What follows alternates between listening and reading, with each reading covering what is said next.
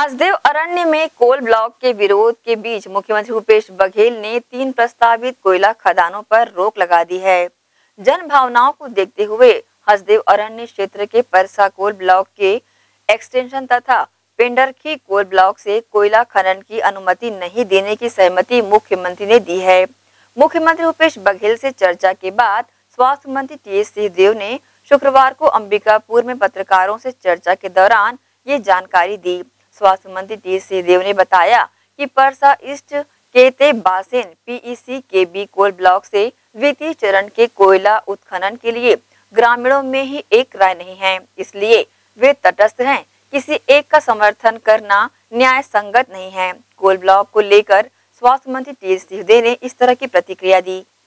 एक असमंजस की स्थिति बन गई थी क्योंकि ऐसा लग रहा था कि व्यापक आंदोलन है और जन सैलाब जनमत एक तरफ़ है कि आगे काम नहीं होना चाहिए।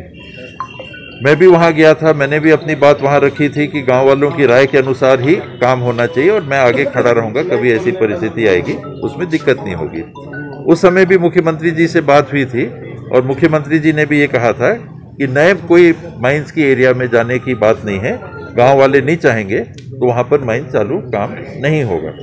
जो वर्किंग माइन एक थी माइन नंबर 15, 17, 18 इसमें गाँव वालों का लगभग 90 परसेंट अपन माने कि उनकी सहमति नहीं है देने की।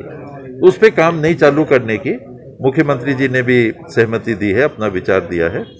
जो चालू माइन थी जो रुक गई इस आंदोलन के चलते नए क्षेत्र में और ना खोला जाए ये एक अलग मांग थी।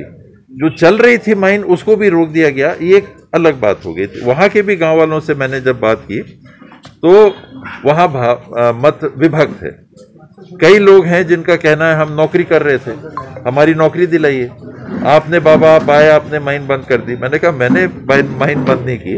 न मैं माइन बंद कराना वाला हूँ, न माइन खोलने वाला हूँ। मैं लोगों की राय को आगे रखने वाला हूँ। मैं अगर जनप्रतिनिधि हूँ तो जो लोगों की राय आएगी, मैं उसको आगे रखूँगा। और आज जो राय है, जो पुरानी माइन चल रही थी, उस क्षेत्र के जिन लोगों की नौकरी चली गई, वो कह रहे हैं, हमको नौकरी दीजिए। वो उनने मेरे को एक संख्या बताई 130 हालाँकि 130 बड़ी संख्या हो जाती, मैं उसको नहीं मान रहा हूँ, लेकिन उनने कहा 130 किस गाँव के हैं? और गाँव के भी हो सकते हैं। लेकिन 130 उस एरिया के लोग उन्होंने संख्या बताई।